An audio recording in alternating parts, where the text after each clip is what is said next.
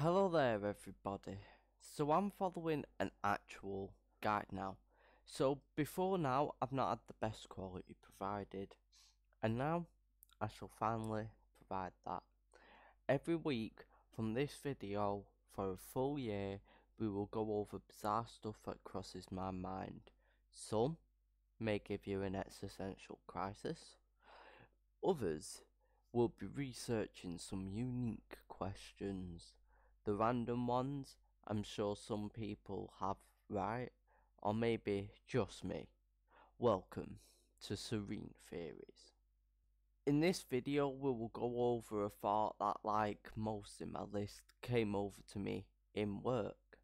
This could potentially add extra credibility to the nice scientific theory that the universe is a wave. If the universe is a wave, then black holes could be the entry point and white holes could be the exit point. Okay, so picture this. The universe is a wave. Everything we know is above the surface and the space in between would be the metaphorical water. And when the star dies, there are two possibilities. The first possibility is that it will go supernova which will happen both times anyway. However, if it does not gain enough mass, it will turn into a neutrino star. Now, second occurrence is A, it will go supernova. However, if it does gain enough mass when it goes supernova, it will in fact have a bomb into a black hole instead.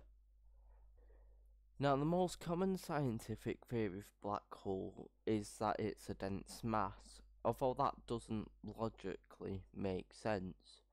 However, we cannot explore this for sure until we're able to withstand the gravitational pull of a black hole.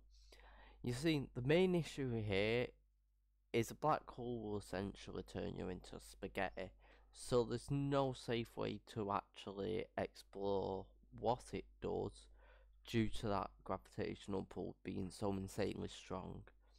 Now, a white hole is the opposite. A white hole expels stuff and doesn't suck it in. However, these are only theoretical right now. We have yet to actually observe this happening.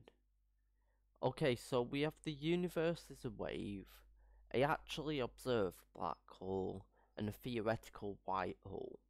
Now, this is where I come in throwing out my possible theory here. When a star is big enough, that explosion essentially acts as a puncture, stuff getting sucked to the part in between the wave. From there we have two possibilities here. The reason we have yet to observe a white hole is they just don't exist. When the puncture happens, there is no other side. You get sucked to the in-between part where you will be lost because there is no way back. That's why there's no visible tunnel of a black hole. The reason it's dark enough to observe light, absorb light is the in-between part of the universe is just dead. Nothing survives. But I'm an optimist and that sounds depressing, most depressing thing ever. So, theory 2. Same principles here. Explosion, pace, sucky sucky pardon the pun. Think of this in in a different concept. The explosion happens and what is essentially left is a cling film like layer.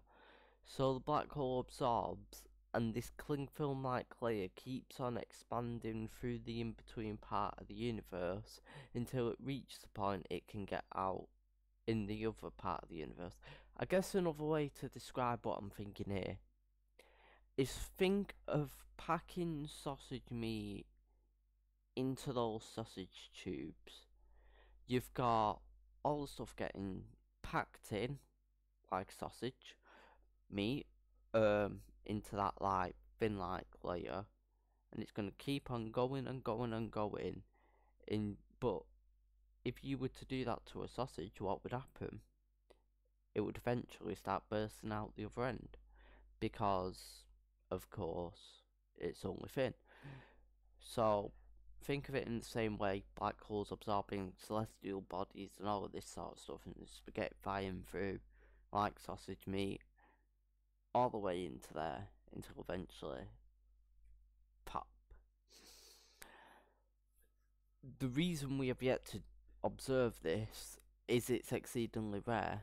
Think of it this way if a black hole is stationary, then it's unlikely to ever gain enough mass to burst the cling film like layer due to the amount of celestial bodies it would actually need to consume in order to do so that thing.